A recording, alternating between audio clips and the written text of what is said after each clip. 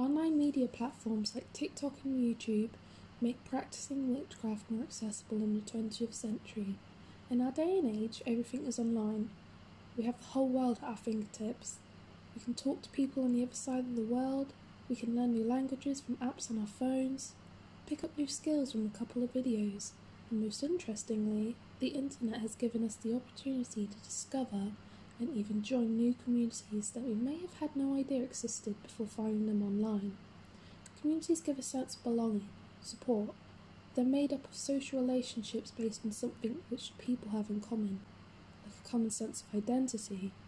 Going online gives us the opportunity to meet a wider range of people we wouldn't have met in our everyday lives. Online is where I found out about witch communities, that there are practicing witches in the 21st century. Seems we have begun to let ourselves question the fundamentals our contemporary society, science and reason, was built on. We are trying to find meaning in life again that we lost due to modernity and rationalization. We've lost the magic in our lives and we are now trying to get back by rationalizing the unrationable. When we lost our spiritual connection in life, we lost meaning, and now we try and regain that back through magic. Magic isn't so obscure anymore.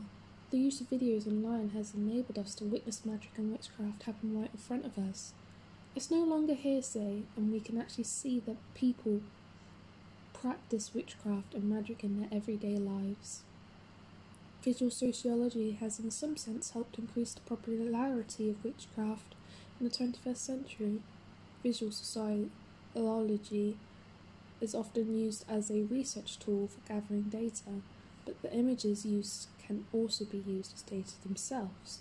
We can use them to study culture we haven't had understood through words alone. When we perceive and see ourselves as often obstructed by our class, gender, culture, race, etc., our internalized solipsism makes it hard for us to experience and understand other cultures, perspectives. That's why visual sociology is so important and such a useful tool to understand people outside of our own world. TikTok and YouTube has begun to enable non sociologists to use co- this concept to let others have an insight to their lives, thus building new communities and bringing people together. The film will consist of investigations into the history of witchcraft and progress into how it has developed into how we practice it in the 21st century. I would also plan to do interviews with some possible witch influencers. I've also found online witch communities in the Bristol area. I intend to use the same sort of techniques Louis may use, essentially getting stuck in. I can't do this the exact same way as COVID restrictions limit the amount of in person socialisation can happen, so I'll have to do a lot of self research and development with the guidance books, interviews, and most importantly, videos.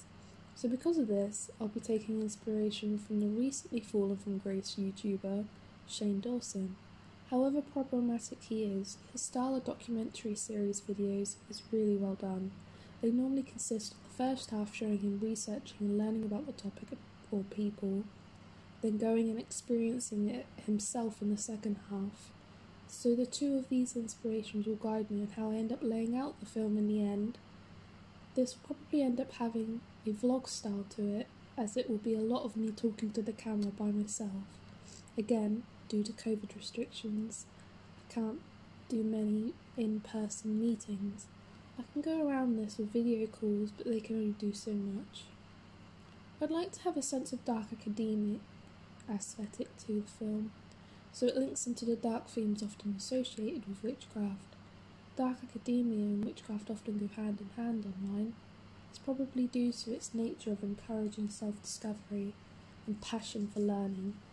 However, the dark academia obviously has a darker vibe to it, hence the name. A quick Pinterest search will show dark browns, blacks, rainy days, and vintage well used books. My research so far indicates that dark academia fits well with witchcraft because they can both be very dark.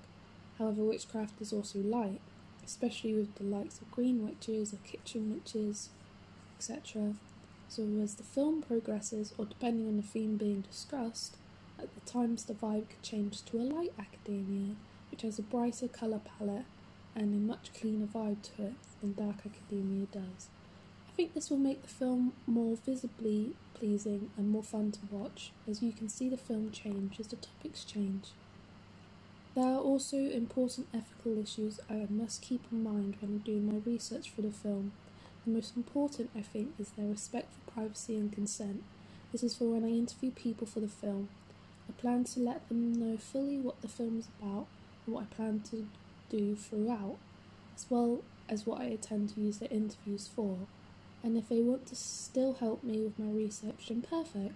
The topic I will be doing is talking about a lot of people's way of life. Their way of lives, their beliefs. I'm going to be researching people's cultures, so it must be as respectful.